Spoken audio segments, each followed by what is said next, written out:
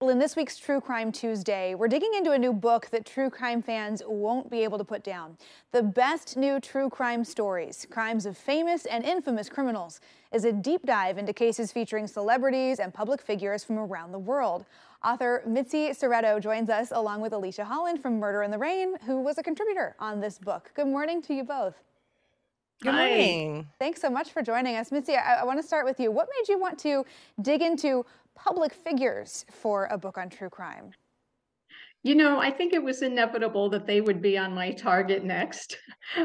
I mean, this is the seventh book in the Best New True Crime Story series, and each book's been a different theme. Um, and, you know, our culture is really obsessed with fame and celebrity and all of that. And, you know, I think we hear more and more in the news about a lot of these people who we've put up on pedestals are being knocked down very quickly. So uh, I thought it was an interesting uh, subject to make it for the um, seventh uh, volume in the series. It is so fascinating to look at these people that you think you know. You see them, you know, on, on TV and movies, and and there's a whole different side to them. Uh, Alisha, who whose true crime case did you dig into? Tell us about the story that you contributed on. Yeah, I decided to go with Roscoe Fatty Arbuckle, who was an actor in the early 20s. And I thought that it was a, a, very well covered story and almost kind of old news. And when I first was going to be a contributor in the book, I started asking a couple people. I asked my mom, I was like, well, maybe Fatty Arbuckle. And she was like, who? And then I realized that that story has kind of faded away with time. And it seemed like in the times we're in now, where there are allegations being made and there's not always proper investigations, that even though it's 102 years old, it still resonates today. So interesting.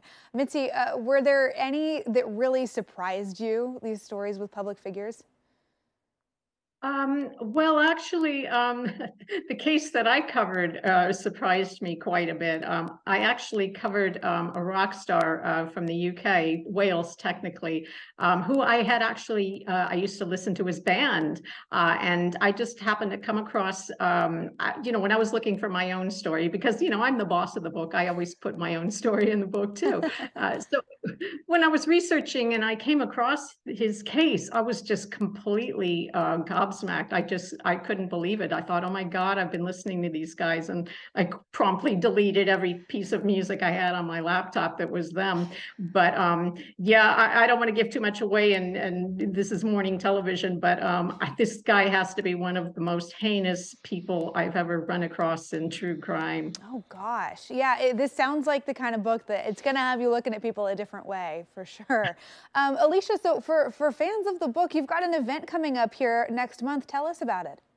Yeah, at Maggie Mae's bookstore, which is in downtown Gresham, and they just changed locations. Uh, we are hosting an event where I'm going to read uh, part of the story regarding Roscoe Arbuckle, and then we'll do some Q and A and uh, a book signing if that interests people. But I figured having the podcast and we have so many great local fans that I decided that would be a really fun way to say hi to people and get to meet some people while uh, sharing these stories. Yeah, that's fantastic. All right, so everybody mark your calendars for March. And then Mitzi, if, if people pick up this book and like I said, they're not going to be able to put it down.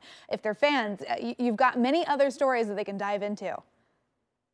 Yeah, uh, there's uh, stories from uh, people all, you know, I, might, I have an international cast of writers and an international cast of criminals, uh, and each book's very global in that way. So even if you think you know all these people, you're going to find cases you've not heard of. So that's that's a fun thing, and and I don't think anyone else is really doing anything on this much of a global scale. Yeah, there's always more to the story. Can't wait to, yes. to get into some of these. Well, thank you both so much for joining us this morning. Great to talk with you.